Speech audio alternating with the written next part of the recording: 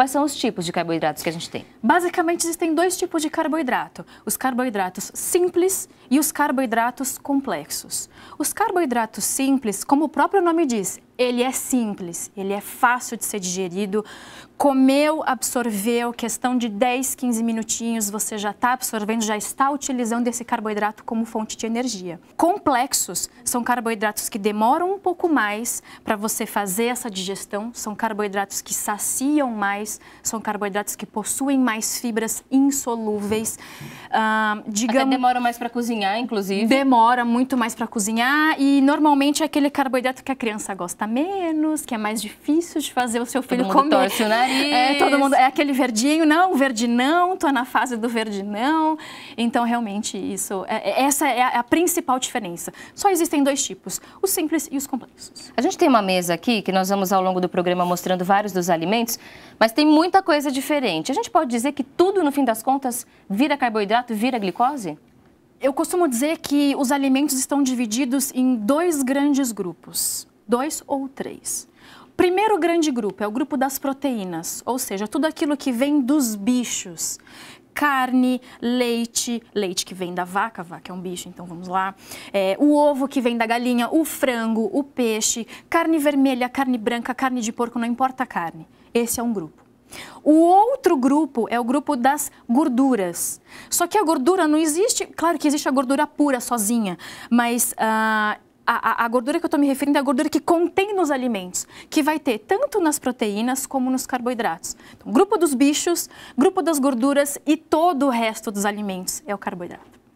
Então, os carboidratos, eles abrangem uma enorme gama de alimentos. Eu diria que a grande maioria dos alimentos são, são fontes de carboidrato. É muito você... fácil você ingerir bastante. É, a gente fica pensando assim, ah, mas eu não comi arroz na hora do almoço. Mas tinha um monte mas de outras coisas batata, no prato. macarrão, é carboidrato. De grãos e um monte de vegetais que conta como carboidrato no fim das contas. Com certeza. E quando a gente vai ler sobre carboidrato, até que no programa a gente já recebeu orientação que tem que preferir os carboidratos de baixo índice glicêmico. O que significa isso? Índice glicêmico é, de uma maneira bem resumida, qual vai ser o trabalho que o teu corpo vai ter para digerir este carboidrato. Então, alimentos com é, baixo índice glicêmico demoram mais para serem digeridos, são mais fibrosos, vamos pensar assim. E alimentos de alto índice glicêmico chegou, absorveu. Muita insulina, então vamos pensar, um alimento de alto índice glicêmico, macarrão normal, macarrão branco ou o arroz branco também é um outro exemplo. Você comeu, rapidinho a insulina é liberada, você digere esse macarrão, esse arroz, esse alimento de, de alto índice glicêmico já está na sua circulação e você já está utilizando como fonte de energia. Então, índice glicêmico basicamente é o trabalho que o teu corpo vai ter em digerir tal alimento em comparação a um outro. E dizer que é um baixo índice glicêmico quer dizer que eu vou ter mais trabalho ou menos trabalho? Mais trabalho. Então, nesse caso, ter mais trabalho é melhor. Exato, ter mais trabalho é melhor. Alimentos com baixo índice glicêmico, vamos pensar que são melhores para um diabético, para um hipertenso, para pessoas que precisam controlar o peso, principalmente controlar a glicemia, porque alimento de baixo índice glicêmico está totalmente relacionado à glicemia, como o próprio nome diz.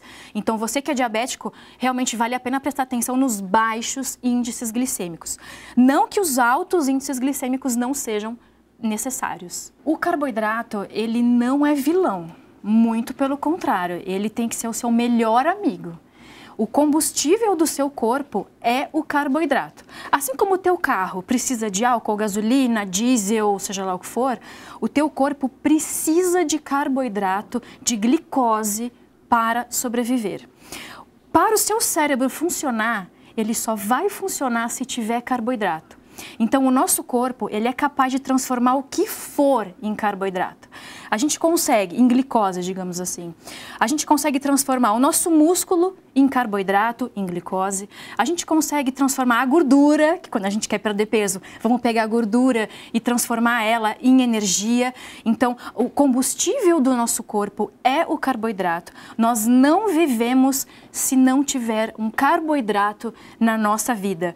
É claro que existem vários tipos de carboidrato, quantidade, tudo isso a gente vai conversar, mas Mas dieta que não tem carboidrato, na minha opinião, não é uma dieta saudável. Ela pode te emagrecer, mas ela não te traz saúde, não te traz qualidade de vida. Quais são os exemplos de alimentos de baixos índices glicêmicos? A gente tem um exemplo muito simples aqui no mesmo alimento, macarrão. Nós estamos vendo aqui dois tipos de macarrão. Macarrão branco e o macarrão integral. Macarrão branco, altíssimo índice glicêmico. Macarrão integral, baixo índice glicêmico. Fibra solúvel e a fibra insolúvel. A fibra solúvel, como o próprio nome diz, ela dissolve, ela é solúvel. Então, o nosso organismo, o nosso intestino, consegue absorver essa fibra solúvel. Já a fibra insolúvel, como o próprio nome diz, ela não dissolve. Nós evacuamos essa fibra, ela ajuda a aumentar o bolo fecal, ajuda o intestino a funcionar muito bem e elas não são absorvidas. Então, o, o, a principal diferença, a fibra solúvel, ela é absorvida pelo nosso organismo. Qual é a função dela? Ela tem várias funções importantes. Elas ajudam a regular o nosso organismo, elas ajudam também a controlar principalmente a glicemia, que é super importante. Eu acho que a fibra, o principal papel da fibra é ajudar a controlar a glicemia. É, algumas delas, e, dependendo da quantidade que você acaba ingerindo, eu até queria mostrar aqui dois alimentos importantes: o brócolis e a couve-flor. É, fibra insolúvel e fibra insolúvel também, mas com um aporte maior de fibra solúvel. É, os dois, principalmente a couve-flor, ela tem a fibra solúvel da couve-flor, ela, ela é um fator protetor ao câncer.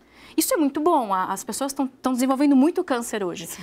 Já o brócolis, por ser verde escuro, é, também pelo fato, o, o brócolis já possui isso nele. Essa fibra insolúvel vai ajudar o seu organismo a funcionar melhor, seu intestino funcionar melhor, você vai ficar mais saciado por mais tempo, então você vai almoçar e, e vai se sentir com aquela sensação uh, de saciedade, de empachamento por mais tempo. Então, todas são essenciais, na minha opinião, todas devem estar na sua alimentação. E a relação fibra e carboidrato, como é que a gente deve estabelecer essa relação?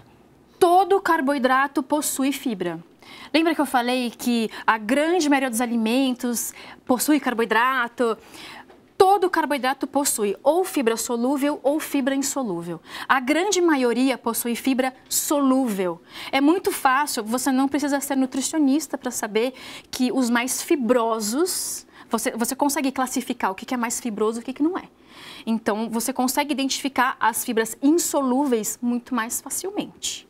E as fibras no alimento, elas são importantes, de novo, na conversa do índice glicêmico. Quanto mais Sim. fibra, mais o nosso corpo vai ter trabalho para processar aquele Me alimento. E menor o índice glicêmico desse alimento. Então, quanto mais fibra ele tem, menor o índice glicêmico, mais trabalho o meu corpo vai ter para digerir esse alimento, seja ele qual for, e, e menor vai ser a sua glicemia. Se você é um diabético ou um pré-diabético, a sua glicemia vai melhorar com os alimentos de baixo índice glicêmico.